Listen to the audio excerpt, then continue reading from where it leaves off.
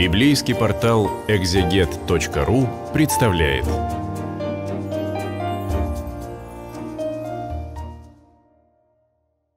Здравствуйте. Это видео для библейского портала экзегет.ру. Мы продолжим разговор о книге пророка Аввакума и обратимся ко второй главе.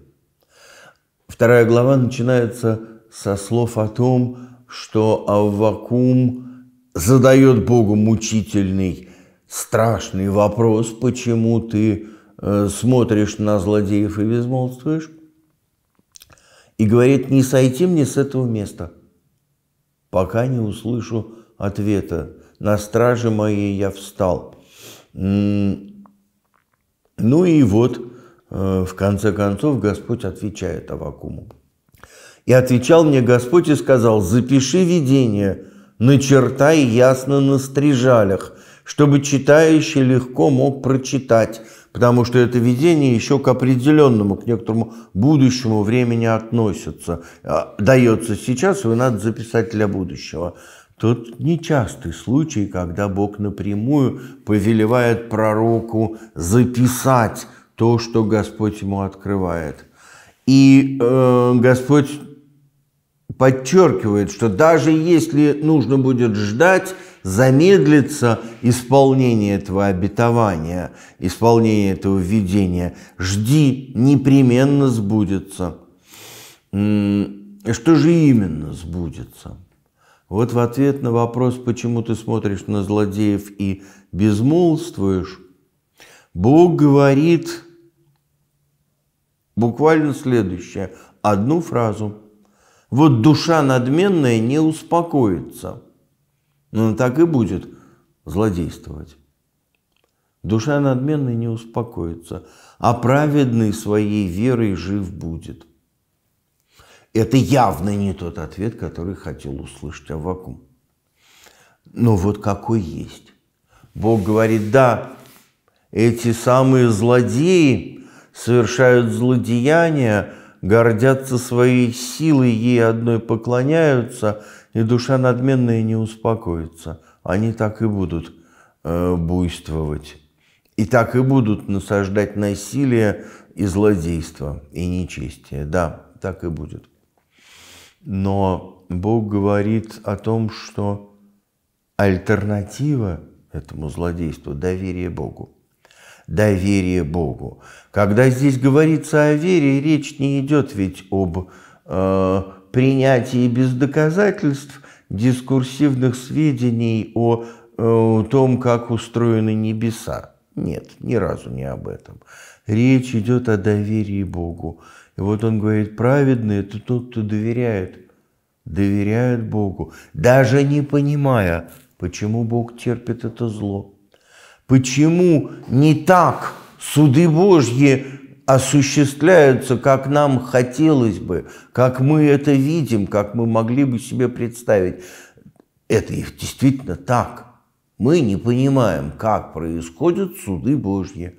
Но Бог говорит, поверьте мне, я не на стороне зла. Праведность в том, чтобы доверять мне, говорит Бог. И праведный этой верой будет жив – этой верой будет жив посреди вот всей этой вакханалии смерти, которая присутствует во всем, в политике, в экономике, не знаю, в правосудии, в пропаганде, везде, вот посреди всей этой мертвечины жизнь есть. И эта жизнь в правде и в доверии Богу.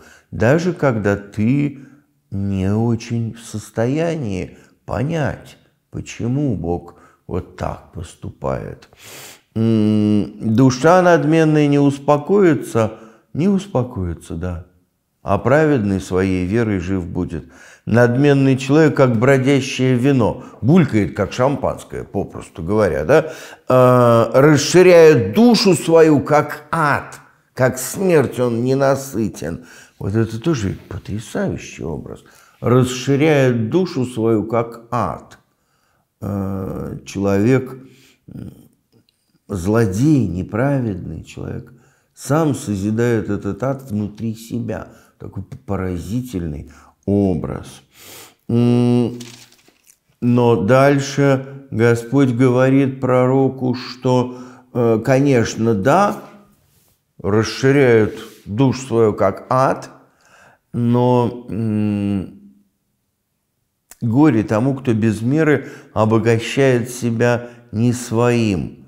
Эм, снова Бог обращается к халдеям, говорит, ты ограбил многие народы, и тебя ограбят все остальные за пролитие крови человеческой, за разорение страны, города и всех живущих в нем. Вот этот именно рефрен, мы еще увидим эти слова в тексте пророка.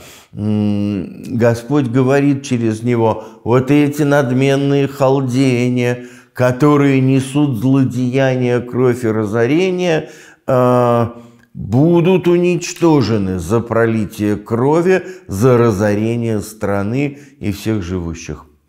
Горе тому, кто жаждет неправедных приобретений.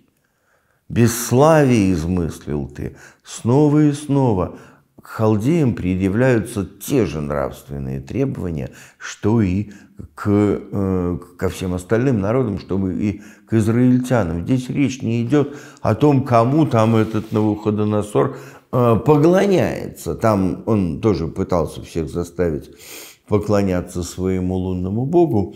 Не так это важно. Э, камни из стен возопьют, э, потому что Горе тому, кто жаждет неправедных приобретений. И здесь, смотрите, Бог говорит о том, что на халдеев грядет бедствие за пролитие крови человеческой, за разорение страны. Ну и то, что вот народы, такие народы, все народы трудятся для огня, и племена мучат себя напрасно, это от Бога. Это от Бога. Если люди не ради Бога, не ради правды Божьей, не ради милости Божьей, э, не ради любви друг к другу трудятся, то это все для огня. Но наступят дни, когда земля наполнится познанием славы Господа, как воды наполняют море. Вот будет это явление силы Божьей, которая уничтожит халдеев.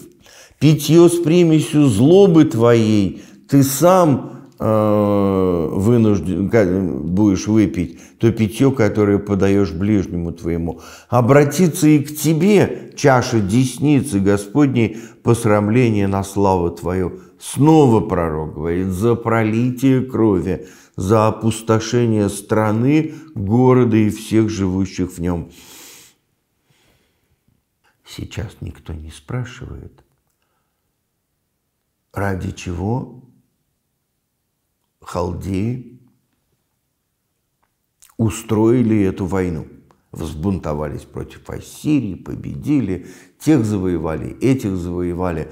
Наверное, какое-нибудь там древневавилонское телевидение тоже разъясняло своим подданным, э, что там надо и как обязательно необходимо этих э, ассирийцев на Западе смирить, э, остановить, прочее, прочее. Ничего нового. Никого это не интересует. Все эти мотивации. Потому что кара и гибель постигло Вавилонин за пролитие крови, опустошение страны, города и всех живущих в нем. Праведны были мотивы Навуходоносора или нет? Справедливы или нет? Благовидными предлогами он прикрывал свою политику агрессивную или нет? Уже никому не интересно имело место пролитие крови человеческой, опустошение страны. Все, это не останется безнаказанным. Это не останется безнаказанным. Вот что, собственно, здесь говорит Бог Аввакуму. А, Бог говорит, я не молчу. И в конце концов эти халдеи получат свое. Когда земля наполнится познанием славы Божьей, они будут истреблены за пролитие крови и опустошение. А, ну и, конечно же, еще тоже как некоторый вывод из предыдущей эпохи, Бог говорит о вакуумум о идолопоклонстве, которое процветает и на Востоке, и у халдеев, и еще недавно процветало в э, земле Израиля. Эм, что польза от истукана, сделанного художником? Вот он обложен золотом и серебром, но дыхания в нем нет. А Господь во святом храме своем, да молчит вся земля перед лицом его. А, вот все идолы – это идолы, говорит Бог, а Бог живой. А Бог живой. И э, земля наполняется познанием Его славы. И, соответственно, Бог призывает праведных, доверяющих Богу, в почтении склониться перед замыслом всемогущего.